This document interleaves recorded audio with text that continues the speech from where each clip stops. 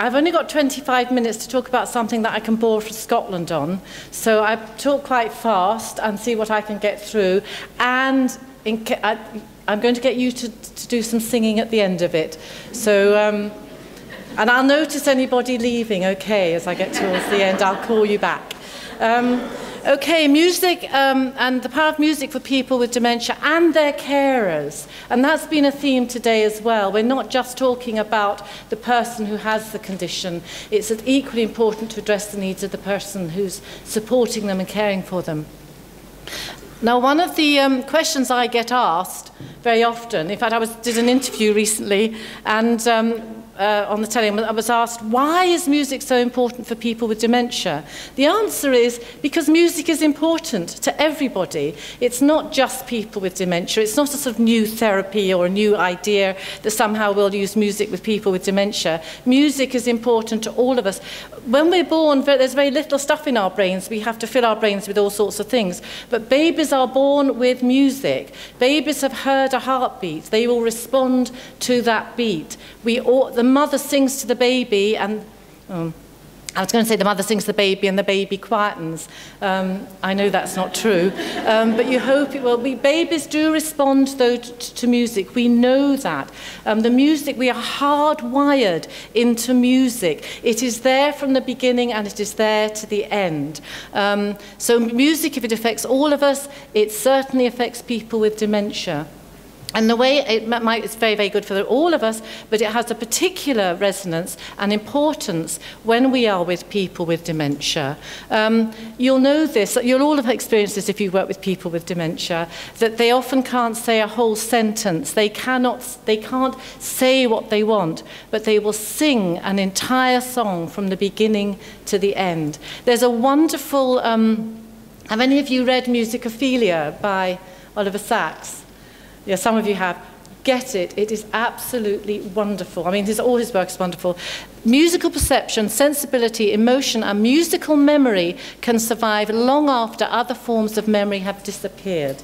Now, the thing about that is that that's what the people's strength is. For people with dementia, they are lose. Uh, dementia is an experience of loss. It's an experience of losing all sorts of skills and functions and things that are important to you. Um, but if the one thing that stays, if the one area where your strength is, is with music, then play, literally play to that strength. If we're not playing to the strength of people with dementia, then actually we're completely shortchanged. I always say that when I'm working with people. I say, if you do nothing else, use music. You name one other thing which is as effective I can't think of it. It is totally immersed in all our being, so why don't we use it? Um, people, um, even at end stage, and certainly a lot of you will have had that experience when you're supporting people, That even at end stage when people, people can be lying in a fetal position, um, they appear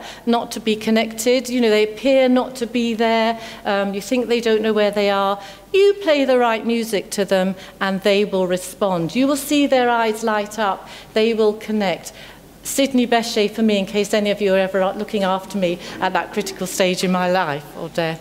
Um, just before I get on to some of the other things, I wanted to tell you about some of the very, very important research findings, in case any of you have any doubts about the importance of music. Um, there's masses of research. It's quite interesting to me. It's a bit of the zeitgeist at the moment to talk about music, you know, it's, and everything. This research, some of this research dates back to the 80s, and that's why I've got it in there. It's been around for years. It's not new. Some of you here will have been using music for a long time. We know that, a mu that playing the right music, for example, when we're doing intimate tasks with people with dementia can reduce and sometimes completely take away challenging behaviour. Now, one of the things that I hear so much when I'm support, working with staff, with people who are supported with, with dementia, they will say, oh, you, you'd all have this, she's at that aggressive stage. Of course, there's no such thing as that aggressive stage. What there is, is that all of us feel feeling threatened, put upon, misunderstood, or hurt can become aggressive. Um, what we know, though, is if you sing to people at times of intimacy, which can be quite threatening, you will almost certainly reduce or take away challenging behaviour. Think how many drugs are used to deal with that. You don't need the drugs to deal with it sing. And just by the way, I bet there's quite a few of you in here who are going, but I can't sing. Because you are the people at school who were told, I hope you're not joining the choir. but actually, everybody can sing. And even if you sing out of... I've never had a person with dementia say to me, could you shut up, you can't sing, right? Just start the song and they will go on with it. Everybody can sing. Even if you sing out of tune, it doesn't matter.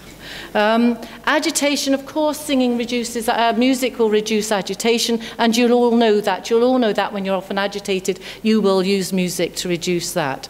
Um, It reduces what's called wandering, sorry, walking about, and we know that we can reduce the amount of walking about that people with dementia will do when they're distressed. How many, uh, many homes that I go into, I see locked doors, I see people put on the top floor because they're worried about them going downstairs, um, all sorts of strategies to stop people walking about.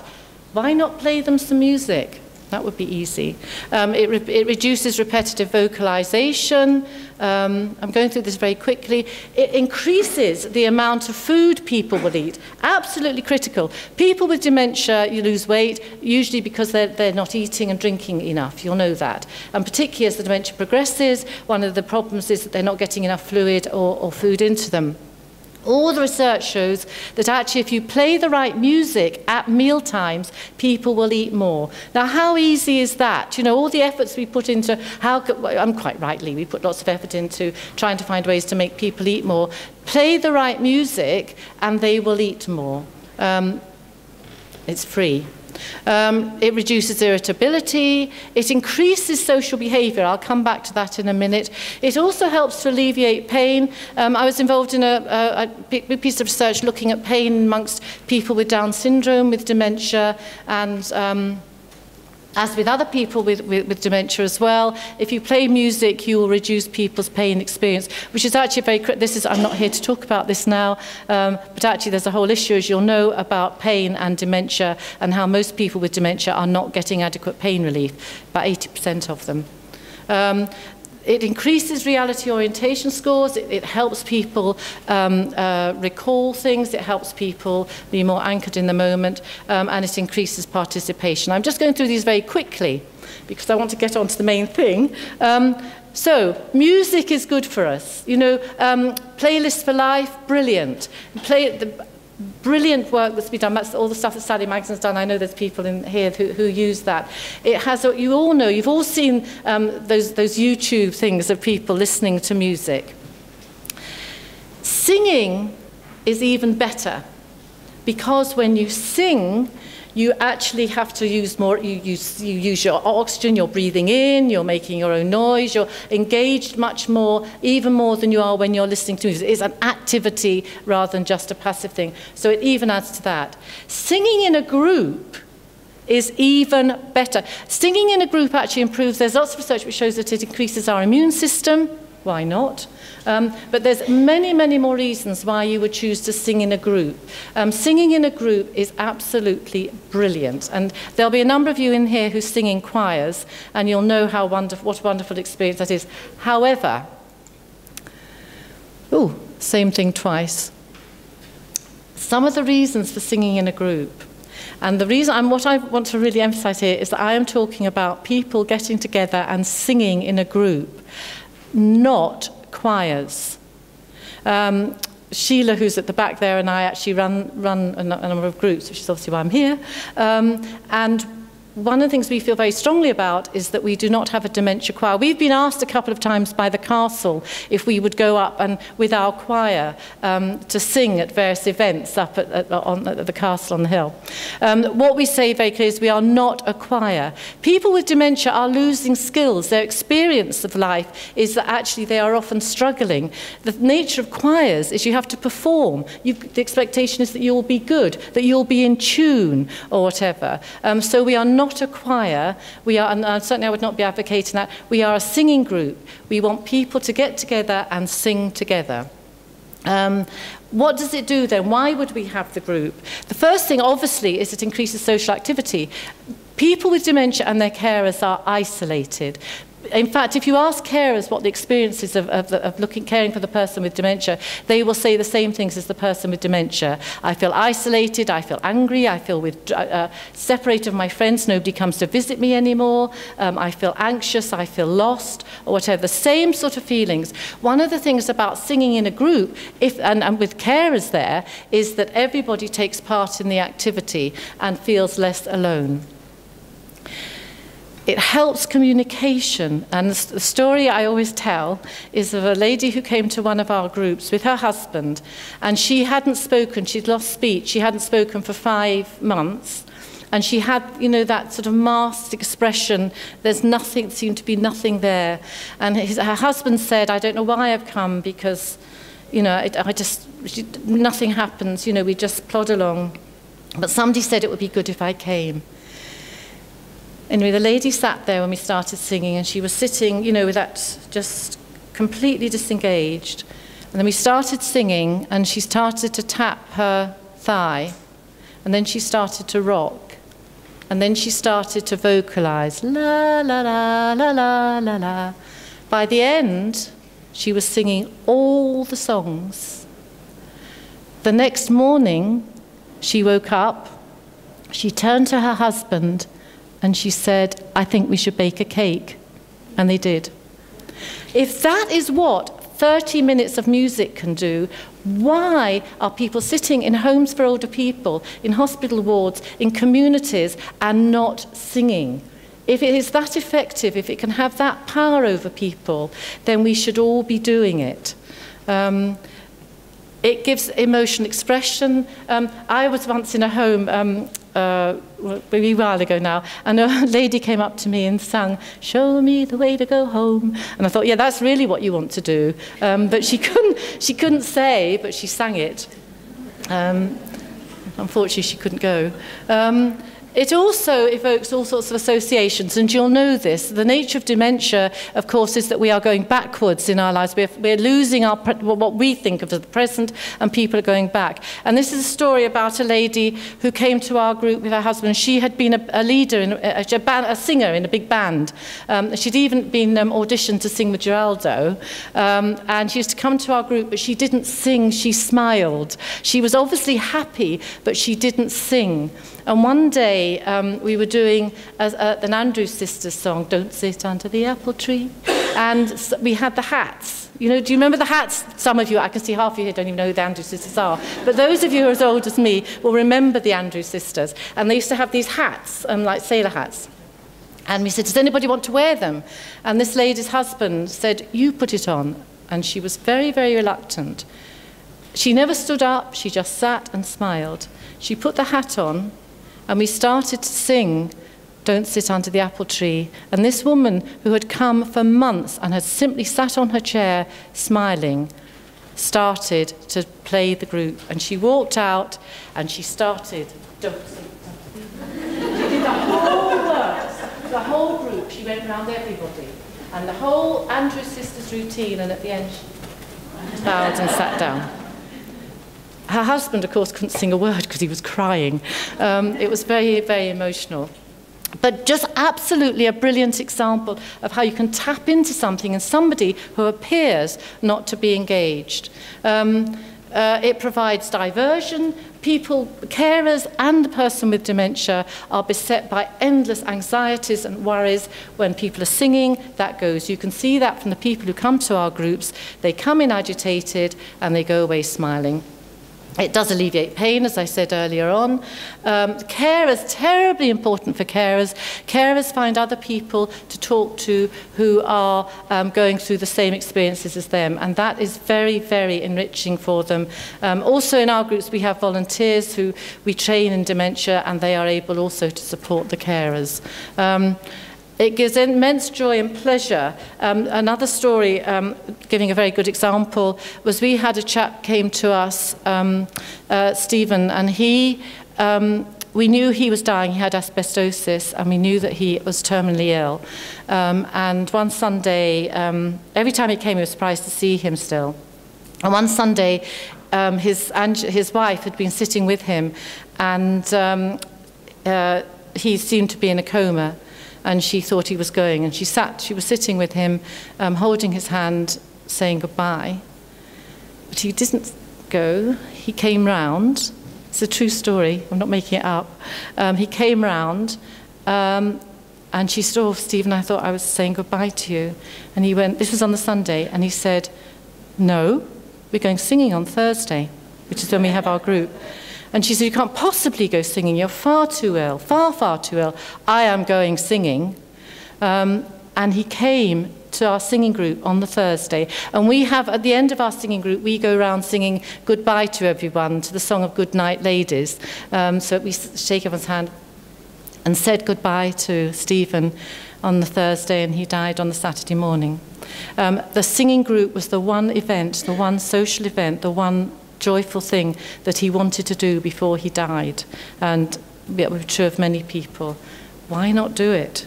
Um, so, I'm, um, oh gosh, running out of time. Aspects very quickly of the group. By the way, I can't do it all, so buy the book. They're at sale at the end. A snip. Um, we would do warm-up exercise. I'm doing this terribly quickly because I got, want to get you to sing. Very important to say to people, if you don't know the words, just go la-di-da-di-da. Everybody can do that. Um, all our songs are chosen by the people who come to our group. By the way, you, the, the, the guys, how often do the men choose a Frank Sinatra song? You cannot sing a, Do It My Way in a group unless everybody's had a bit to drink. It never works. Um, I don't know why they always want it. No women have ever asked for it. Um, uh, we do singing in unison um, which is very important just to get everybody singing together. And then we start to do other activities. We will sing rounds. Amazing. People with dementia come to us and they sing part songs. Um, we will sing partner songs. That's where you sing two songs together. Um, we do call and response songs. Um, and we will walk or dance. And that is truly amazing to see people who have not been mobile. We had some Japanese visitors the other day, and at the end of it, the, the, the guy who'd come said to me, that lady that's in that wheelchair, I'm not sure she needs to be in there because she was dancing. And we go, no, she needs to be in there till she's got some music inside her and then she's off, do you know? Um, and people will walk. And very, very important that, that when we're doing the singing, that we get lots of activities, lots of clapping. A lot of people with dementia don't have any activity either. They sit um, and they get constipated and all sorts of other things. Actually, using the music um, is, is, is very important. The, the research at Edinburgh shows, of course, that dancing and music together together is one of the best ways um, to stave off whatever. Um, uh, we start and finish with the same songs so that we're giving a very clear message at the end that we're going. And we actually finish, and a lot of, there are people who are just, we actually finish with, which is a war song, um, which is um, Wish Me Luck as You Wave Me Goodbye, um, because then everybody's waving. Of course, there's issues about, most of the people who come to our group actually don't remember the war. They're, they're 70, 80, 90 years, some of them will remember it, but a lot of them don't. But the, everybody knows that song. Um, that's not the song I'm going to get you to sing. Um, right, um, I just I've got, oh dear, it's running out of time. Um, these are just the sort of songs we would do, just examples, things like Frere Jacques. My Bonnie Lies Over the Ocean is always a good one. You'll all have different, we do actions to that. And of course, some people do My Bonnie. Um, and do any of you do My Bonnie Lies Over the Ocean? And a lot of people like that. But again, it's people doing, they're moving their bodies while they're doing it.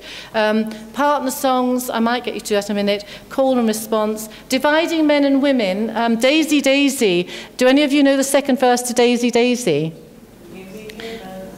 No, the second verse is Henry Henry. Yeah. Henry Henry, this is my answer true. I'm not crazy all for the love of you. If you can't afford a carriage, forget about the marriage. I won't be rammed, I won't be jammed on a bicycle made for two.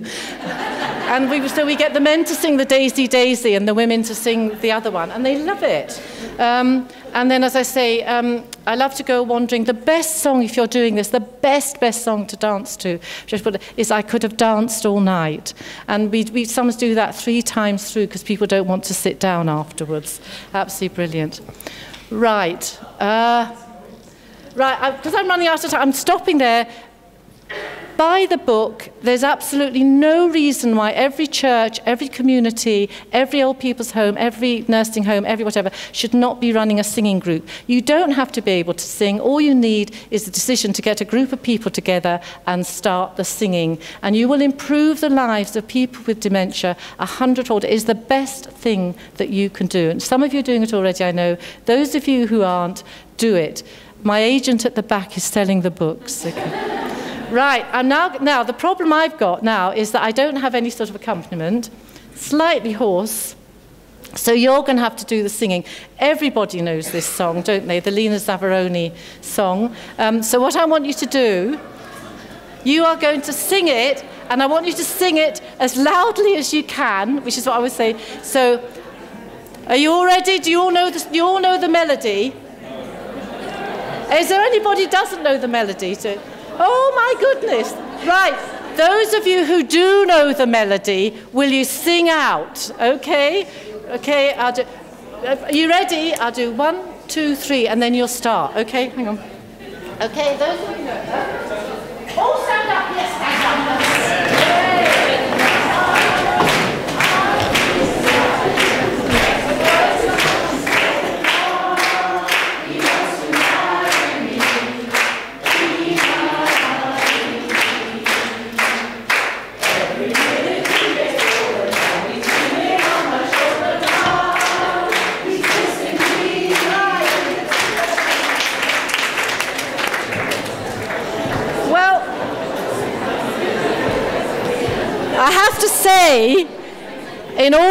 60, the people we do it with who have dementia do a much more lively rendition than that. You were a bit stilted, I thought. What is really interesting, though, is that everybody, well, most of you, I think, actually engaged in it and you got going. And if we had sung it some more, and if we certainly if we had the pia- a piano or a backing track, you really would have got into it. Um, I've actually got time, haven't Two minutes Right, now this time you have no excuse because I know you'll know the words. We're going to, th this could all fall flat, okay? And I have to tell you, we do it with people with dementia and it doesn't. So, um, we're going to do partner songs. Has anybody done these before? Right.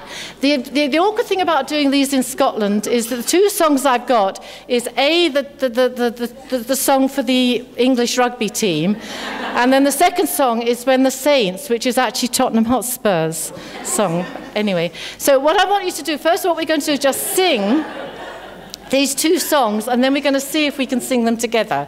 Okay? So first of all, you all know the words to Swing Low, Sweet Chariot. Are we going to stand up again? Okay, okay. We're going to start off. Swing, okay.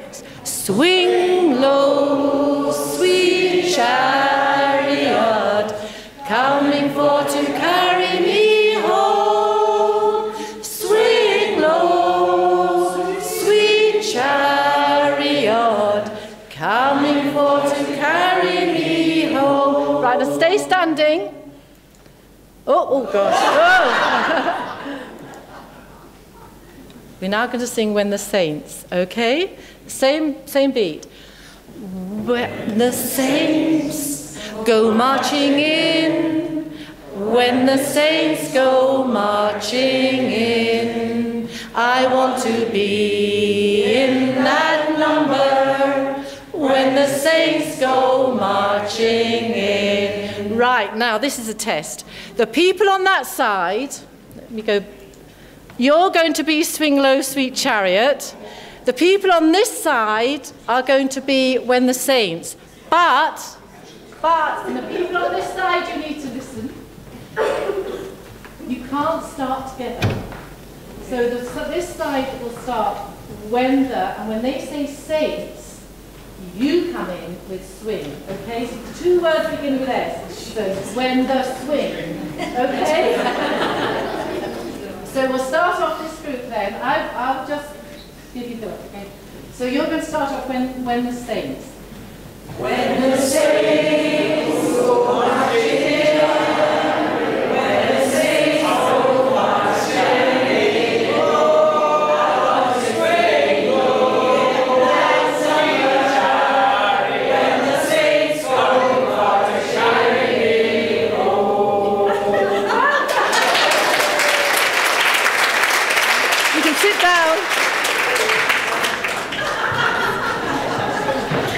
Okay, I've actually run out of time.